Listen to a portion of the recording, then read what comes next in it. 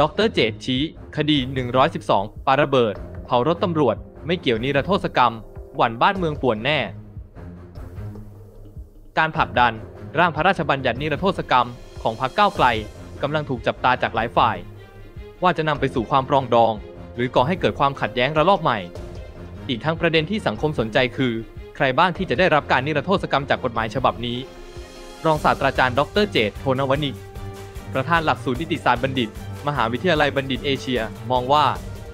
การจะออกกฎหมายนิรโทษกรรม โดยตีขุมว่าทุกเรื่องเป็นการนิรโทษกรรมคดีการเมือง อาจจะก่อให้เกิดปัญหาได้ เพราะการตีความคำว่า คดีการเมืองของแต่ละคนนั้นแตกต่างกัน ดังนั้นถ้าจะมีคำว่า ความผิดทางการเมือง ก็ต้องนิยามให้ชัดเจนว่า ความผิดทางการเมืองหมายความว่าอะไร คดีลักษณะใดที่เป็นคดีการเมือง ดรเจตชี้ว่า ความผิดบางกรณีไม่เกี่ยวกับการเมือง เช่น การที่ผู้ชุมนุมบางกลุ่มใช้ความรุนแรง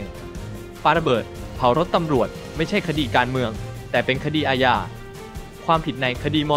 112 ก็ไม่ใช่คดีทางการเมือง เพราะมาตรา 112 เป็นความผิดที่เกี่ยวกับการดูหมิ่น ให้ร้ายพระมหากษัตริย์ หรือสถาบันกษัตริย์ เมื่อเป็นการกระทำผิดต่อพระมหากษัตริย์ แต่นักการเมืองจะมาคุยกันเอง ให้นิรโทษกรรมจึงมิบังควร ดังนั้นก่อนที่พรรคก้าวไกลจะเสนอ ร่างพระราชบัญญัตินิรโทษกรรม เข้าสู่การพิจารณาของสภา ควรจะมีการหารือและรับฟังความคิดเห็นจากทุกภาคส่วนที่เกี่ยวข้อง มีเช่นนั้นแทนที่จะสร้างความปรองดอง กลายเป็นสร้างความขัดแย้งรอบใหม่ทำให้บ้านเมืองปั่นป่วนวุ่นวาย